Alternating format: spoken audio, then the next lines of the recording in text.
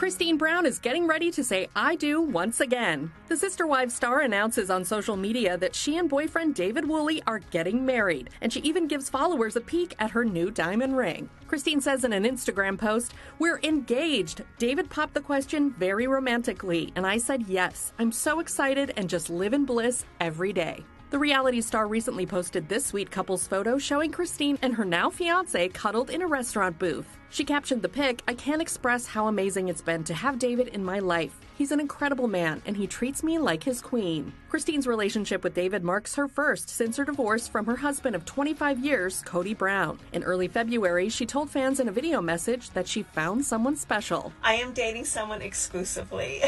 He's wonderful and romantic and so kind and everything I've been looking for. On Valentine's Day, she revealed David to the world on Instagram. I have someone to introduce you to. Hello, my queen.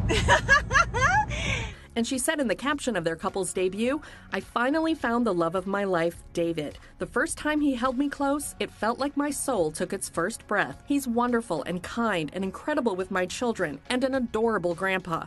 I never dreamed I could find a love like this. As for Kody's own romantic life, his marriages with first wife Meri Brown and second wife Janelle Brown also recently came to an end. He's still married to fourth wife Robyn Brown.